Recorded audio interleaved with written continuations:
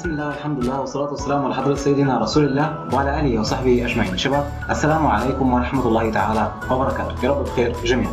هنتكلم النهارده إن شاء الله بإذن الله عن JavaScript ال DOM changing ال CSS هنتكلم حبة صغيرة عن أو يعني تمهيد برضه عن موضوع ال styles.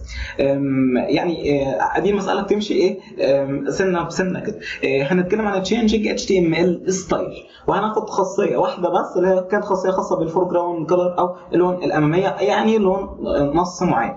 طيب okay. آه، أنا مع أدي ملف ال JavaScript بتاعي فاضي ما فيهوش أي حاجة. وملف ال styles CSS فاضي ما فيهوش أي حاجة. أنا بس كل اللي أنا عملته إن أنا إيه أدرجت ملف سي إس إس سميته ستايلز دوت سي إس إس.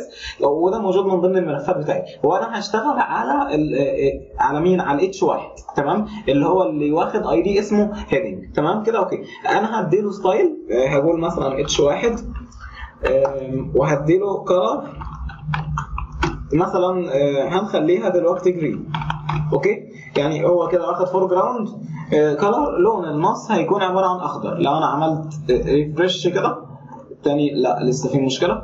H واحد color green أنا عملت control S عند ال JavaScript لسه في آه، كود كان موجود already يعني. فاهو كده واخد اللون ال- الأخضر تمام؟ أنا عايز أعمل reload فلاقي ان النص ده يتغير اللون بتاعه من اللون الأخضر للون الأحمر لما أعمل أنا reload وهتيجي موضوع إن أنا اشغلها على ال eventات كمان شوية إن شاء الله بإذن الله. okay تمام. فإيه؟ أنت عايز تنادي. هتنادي على مين؟ هتنادي على ال document okay يا document عايز إيه؟ dot أنا عايز عنصر. ها هتجيبه إزاي؟ أنا هستخدم get element by ID ها فين ال element اللي واخد ال ID بتاعك؟ أنا عايز الاتش 1 واخد اي دي واخد اي دي اللي هو عبارة عن إيه؟ heading فهكتب heading ها عايز من نوع العنصر ده هحط dot. ها عايز تعمل فيه إيه؟ عايز أغير فين؟ في ال styles هكتب style كأني ب style حاجة خالص. ها عايز إن ال style هكتب dot. عايز توصل لمين؟ عايز توصل لل color عايز أوصل للون وهحط يساوي وما بين double quotations في نفس السطر بتاعي أحط القيمة الجديدة للون